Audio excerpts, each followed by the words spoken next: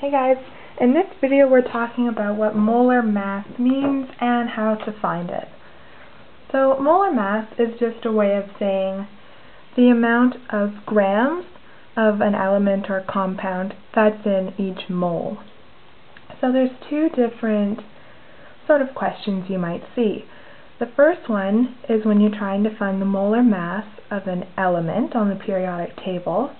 The second is when you're trying to find the molar mass of a compound or a molecule like H2O, NH4, something like that, where it's more than one atom put together.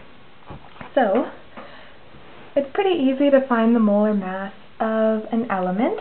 All you need to do is look at your periodic table. And we're going to find the molar mass of one atom of oxygen. So all you need to do is go to your periodic table, this is mine, it's fancy, find oxygen, and see what the atomic mass is. So in this case it's 16. Oxygen has 16. By atomic mass we mean atomic mass units in every atom of it. So for oxygen, for any element on the periodic table, its molar mass is equal to its weight in atomic mass units. So the molar mass of oxygen equals 16 grams per mole. Okay?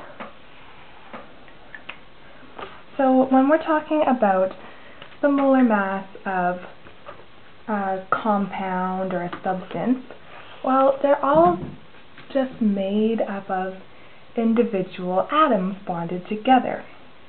So we're going to do the example of ZnNO32. So the first thing we need to think is how many atoms of zinc do we have? One. So we have one zinc plus we have this little 2 down here applies to the 3 oxygen and it applies to the 1 nitrogen. So we have 2 nitrogen plus we have 3 times 2 would be 6. We have 6 oxygen.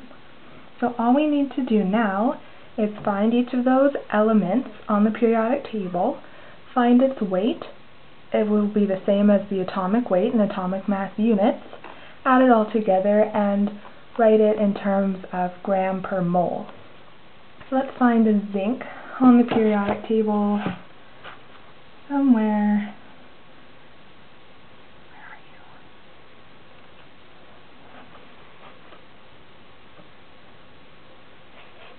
Zinc has a mass of 64.5 so one atom of zinc would have a mass of 64.5 AMU, atomic mass units,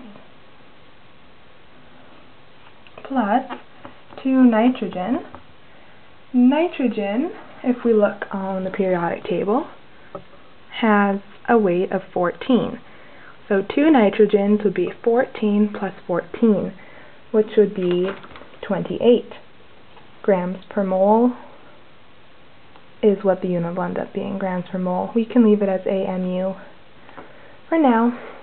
And oxygen we found was 16 AMU. So all I'm going to do is go 6 times 16 equals 96 AMU. And if I add that all together, 96 plus 28 plus 64.5 equals, I get 188.5. Think about your units, it's molar mass, it's always grams per mole. So, one mole of ZnNO32 would have 188.5 grams in it. Let's do one more. Going to keep oxygen up there because we have some molecules or some atoms of oxygen in the next question. So we have PT 2O3 3H2O. So the mass of PT is 195.1. So 195.1 times 2 would be, because we have two atoms, we had 390.2 grams per mole or AMU, whatever for that one, plus 3 oxygen. Oxygen was 16, so 3 of them would have 48. AMU plus 3 times 2 would be 6. We have 6 hydrogen. Hydrogen has a weight of 1. So 6 times 1 would just be 6. And we have 3 oxygen. That would be 3 times 16 again, which would be another 48.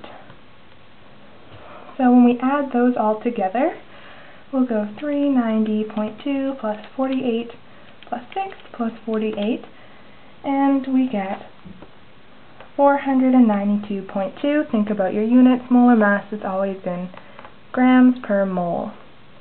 So 1 mole of PT2O3 by 3H2O would be 492.2 grams.